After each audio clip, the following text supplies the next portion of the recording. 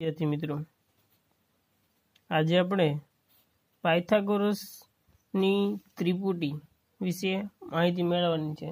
જે છઠ્ઠું ચેપ્ટર ચાલી રહ્યું છે. છઠ્ઠા ચેપ્ટરની અંદર પાયથાગોરસની ત્રિપુટીનું તમારે એક સ્વાધ્યાયની અંદર એક પ્રશ્ન આવે છે. તમને કોઈ પણ એક કિંમત આપેલી હોય, એના ઉપરથી તમારે પાયથાગોરસની ત્રિપુટી મેળવવાની છે. પાયથાગોરસનો પ્રમેય છે એ તમારે ધોરણ દસની અંદર આવે છે. થોડી ઘણી માહિતી તમારે આ આગળ આઠમાની અંદર આવશે.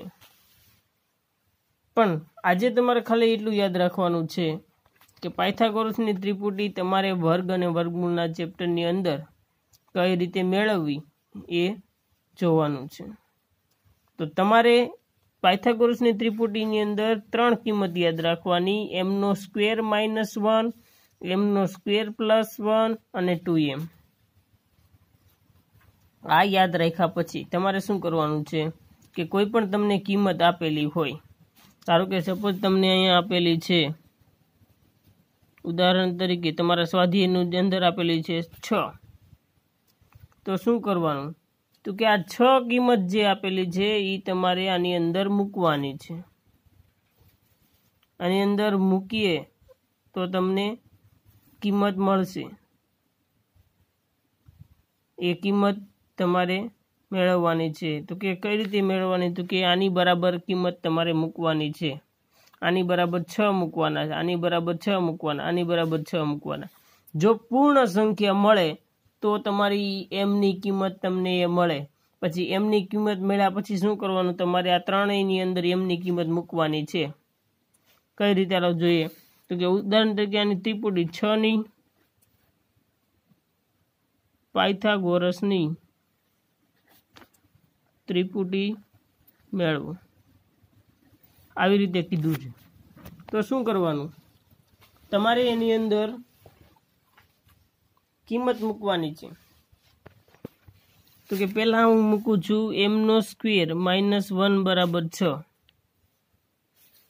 તો કે એમનો સ્ક્વેર, પછી આ માઇનસ છે, આગળ આપણે ચેપ્ટરમાં શીખી ગયા માઇનસ છે, સામે જાય તો પ્લસ. છ પ્લસ એક, એમનો સ્ક્વેર બરાબર સાત. અહીંયા શું થાય છે? તો કે આ જે છે રહ્યું એની અંદર તમને સાતનું વર્ગમૂળ નીકળતું નથી. આપણે આગળ વર્ગ શીખી ગયા, તો વર્ગની અંદર ક્યાંય સાત આવ્યા નથી. તો બીજું જોઈએ. તો આ તમારે એમની કિંમત તમને મળશે નહીં. તો ત્યારબાદ બીજું જોવાનું હતું કે આ જે છે, એમ સ્ક્વેર પ્લસ વન, એની અંદર મૂકવાની. એમ સ્ક્વેર પ્લસ વન બરાબર છ મૂકવાના. તો એમ સ્ક્વેર આ પ્લસ છે, બરાબરની સામેની સાઈડ જાય તો માઇનસ એમ સ્ક્વેર બરાબર પાંચ. તો અહીંયા પણ જુઓ તો કે પાંચનું વર્ગમૂળ નીકળતું નથી. અહીંયા વર્ગ આપેલો હોય તો સામે જે, આપણે કેમ પ્લસ આપેલું હોય તો સામે જાય તો માઇનસ માઇનસ આપેલું હોય તો પ્લસ, ગુણાકારમાં આપેલું હોય તો ભાંગાકારમાં ભાંગાકારમાં આપેલું હોય તો ગુણાકારમાં. એવી જ રીતે અહીંયા વર્ગમાં આપેલું હોય તો સામે વર્ગમૂળમાં જાય. તો એ તમને પૂર્ણ કિંમત ન મળે, પાંચનું વર્ગમૂળ ન નીકળે.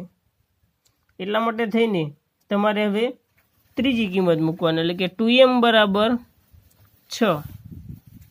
ટુ એમ બરાબર છ મૂકવું તો એમ આ જે બે છે, એ બે બે અને એમ છે, એ ગુણાકારમાં સામે જાય તો ભાંગાકારમાં, એટલે કે છના છેદમાં બે.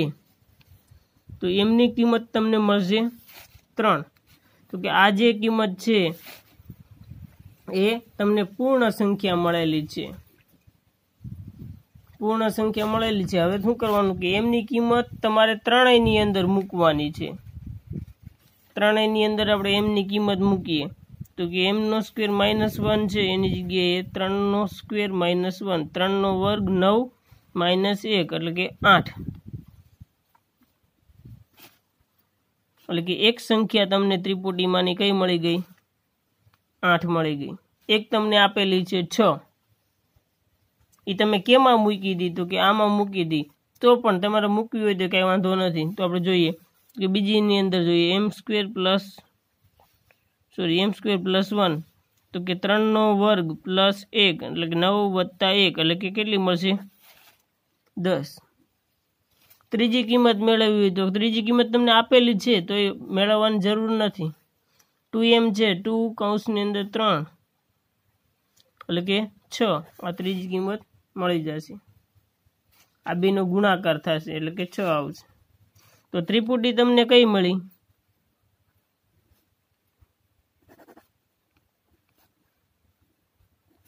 ત્રિપુટી તમને મળશે એક, છ, આઠ અને દસ. આજે છે એ પાયથાગોરસની ત્રિપુટી મળી કહેવાય.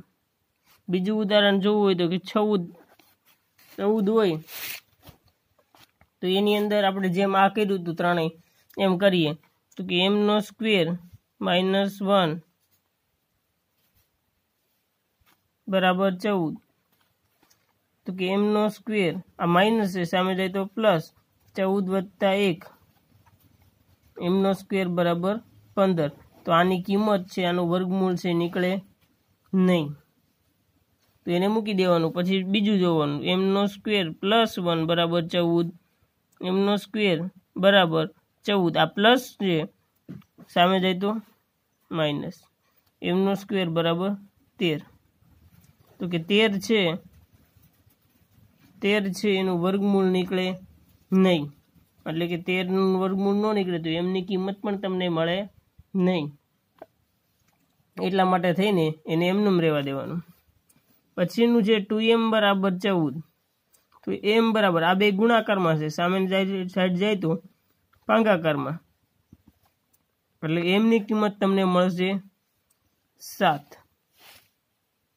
હવે સાત રહ્યા એ ત્રણેયમાંની અંદર આ એમ મૂક્યા મેં એમ તમારે મૂકવાના છે તો કે એમનો સ્ક્વેર માઇનસ વન એમનો square plus one two m હવે આની જગ્યાએ સાત મૂકું તો સાતનો વર્ગ માઇનસ વન સાતનો વર્ગ તો કે ઓગણપચાસ થાય, માઇનસ વન. ઓગણપચાસમાંથી એક જાય તો અડતાલીસ. એ જ રીતે અહીંયા કરવાનું છે. સાતનો વર્ગ પ્લસ વન. ઓગણપચાસ ને એક. પચાસ. આ તમને બીજી ત્રિપુટીની કિંમત મળી. હવે સાત બે કૌંસની અંદર સાત, એમની જગ્યાએ સાત મૂકવાના છે. અહીંયા તમને એમ બરાબર સાત મળ્યા છે એટલે સાત મૂકવાના છે. સાત દુને ચૌદ.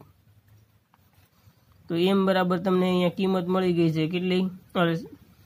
કિંમત તમને ત્રિપુટીની મળી ગઈ છે, ચૌદ. તો અહીં લખવાનું કે પાયથાગોરસની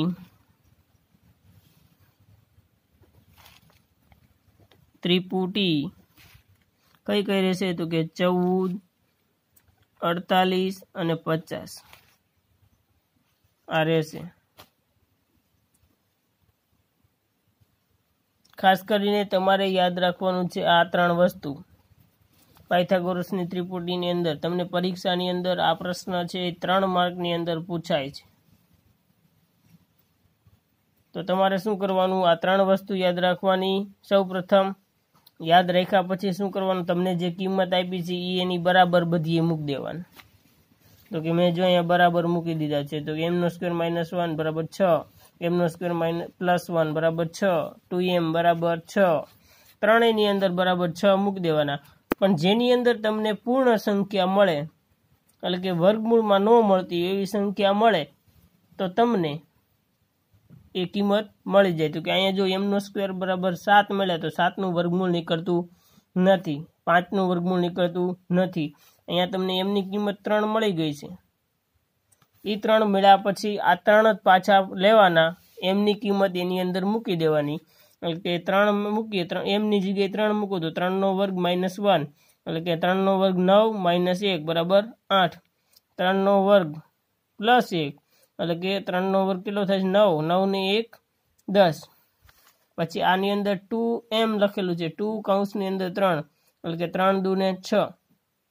આવી રીતે થશે. તો ત્રણ, એટલે કે ત્રણ સંખ્યા ત્રિપુટી એટલે ત્રણ સંખ્યા કઈ કઈ મળે? છ, આઠ ને દસ. આ ત્રણ સંખ્યા મળશે. આજના વિડીયોની અંદર આટલું જ. આવતા વિડીયોની અંદર આપણે વર્ગમૂળના જે પ્રશ્ન છે એ કરવાના છે. આ તમારા ચોપડાની અંદર ઉતારી નાખવાનું